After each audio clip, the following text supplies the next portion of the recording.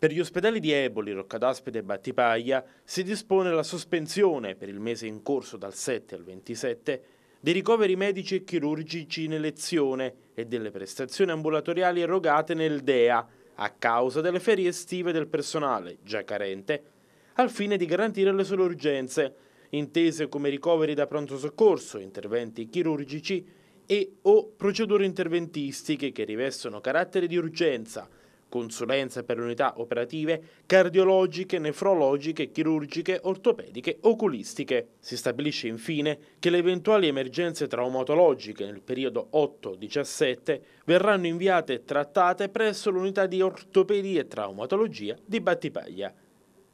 Questa è una nota arrivata nei giorni scorsi. In poche parole, la coperta è corta e quindi se qualcuno va in ferie, i medici necessariamente si deve sospendere altro. Nella nota lo si dice chiaramente, personale già carente.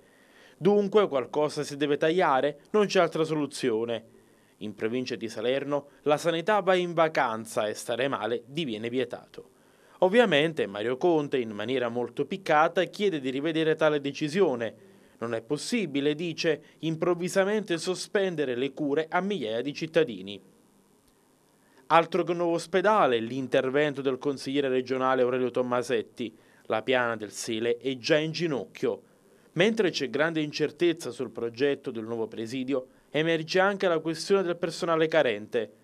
La direzione del DEA ha sospeso gli interventi per tutto il mese di agosto, ad eccezione di quelli improcrastinabili, perché i tre ospedali, a causa delle ferie, si ritrovano in assenza di programmazione, a corto di personale sanitario. Ciò conclude, è assurdo.